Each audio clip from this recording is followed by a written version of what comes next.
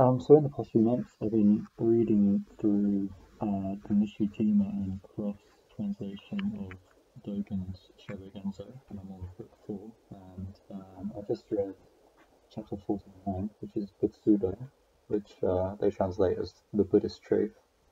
Um, and it's quite an interesting one. Um, Dogen's basically saying that there's no such thing as a Zen sect or a Soto sect, like we shouldn't uh, say these things. There's, there's no such thing as all these different sects within Buddhism. There is just kind of there is Buddhism, um, and all the kind of extra things beyond Zazen are pretty much uh, just superfluous and, and not even Buddhism. Um, and yeah, Dogen can really attack people that aren't in his lineage. Um, you know, Zazen is, is the ultimate thing. Um, that is the Buddhist truth, is practicing zazen, that is nirvana itself.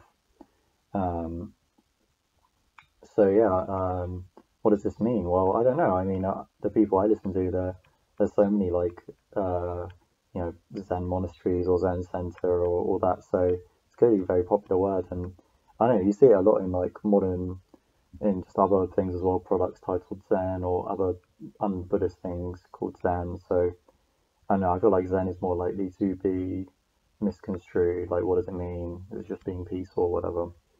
Um, and where does Zen come from? Well, they were saying that like when Bodhidharma came to China, he basically just you know stared at a wall doing, and people thought, oh, he's just doing uh, the meditation, the dhyana part, which is translated to Chan or, or Zen.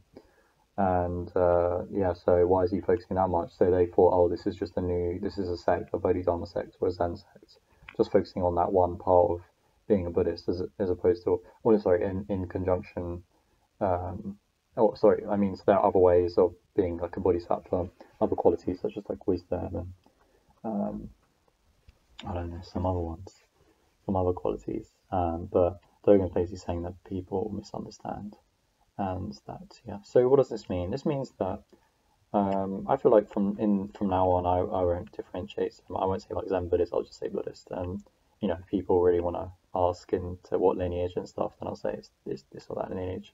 Certainly, I think Dogen believes in lineage lineages, not so much in sects though. So it shouldn't be like you can have a certain lineage, but doesn't mean that because I think a sect implies that there's some sort of new knowledge when really it's just it's always the Buddhist truth. It's the the knowledge of the Buddhist patriarchs um, and Buddhas. So there's no there's nothing new to, to really add on to it. I would say the only thing is that there is a new thing which is being able to express um, the ineffable in like a modern way or to teach people in a, mod- in a modern way in modern language and related to the culture that that country is in. Um, you know, which Dogen does, for example, we translate Chinese things to Japanese that, that the Japanese can understand in that time. So I think that's fine, but it doesn't mean that you're going to make a sect. You know, a sect implies that there's, yeah, there's something new, um, but that's unnecessary. There's, yeah, only one but it's truth. Um, and yeah, but I know lots of religions they splinter and and they they have similar things. You know, people saying this is legitimate legitimate way or whatever. Um, yeah, whatever. Just uh, yeah, interesting. I watched the Prabhupada video today about how you know someone was asking him like you know when when someone when one teacher says this is the true way and then another says they give the example of someone says it was Muho says that you got the only way to eat mindfully is eating really quickly, whereas uh, Thich Nhat says the only way is to eat slowly. So what do you do? Just follow one way, follow it uh, with absolute devotion, and that is the right way. Okay, just believe that and believe it strongly. And you know, maybe, yeah, we don't know why people say these crazy things all the time. Best just to follow circumstances. There you go.